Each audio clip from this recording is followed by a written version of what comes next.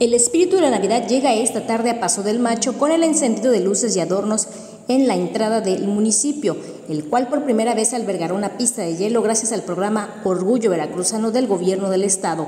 La alcaldesa de Paso del Macho, Blanca Estela Hernández Rodríguez, comentó el programa del mes, donde el día 11 a las 6 de la tarde será la inauguración de la pista de hielo instalada en el fuerte. El día 17 de diciembre será el desfile de orgullo navideño y el 19 de diciembre será su primer informe de gobierno donde realizará un hermanamiento con la República de El Salvador. La primera autoridad agradeció al gobernador Cuitláhuac García y al secretario de Gobierno Eric Cisneros, quienes esperan para la inauguración por el gran apoyo a este municipio.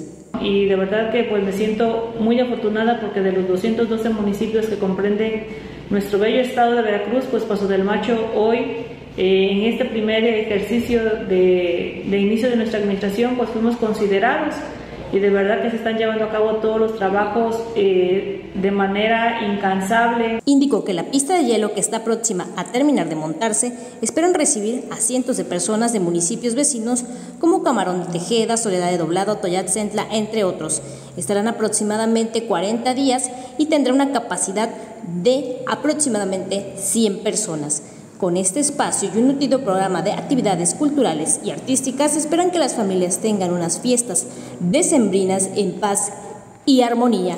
Para RTV Más Noticias, Diana Bustamante.